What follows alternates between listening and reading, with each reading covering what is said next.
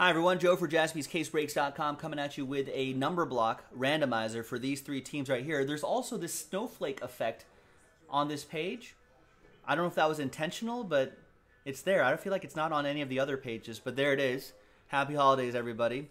Three teams right there. Um, that's how the number blocks work.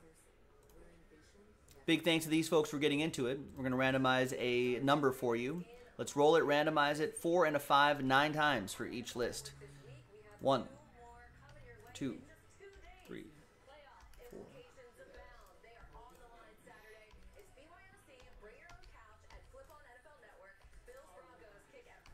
And ninth and final time. After nine, four and a five, nine times. There's nine right there. We've got Brandon all the way down to Matt. Four and a five, nine times for the numbers. One, two, three, four.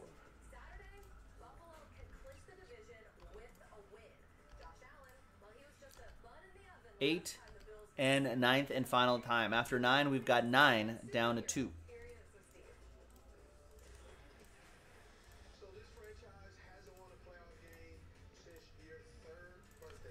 All right, so Brandon with nine, Josh with eight, Steve Locke with zero. So Steve, you'll get any and all redemptions for those three teams on the on that bottom tab right there, including one of one redemptions. Matt Arnold, you'll get live one of ones. Blockchain cards for those three teams will also go to Steve. Those are redemptions too. Matt with four, Chris with six. Matt still gets live one of ones. Chris with five, Brian with seven, Brandon with three, and Matt Arnold with two. Coming up in a separate video will be the break itself. We'll see you for that. JaspysCaseBreaks.com.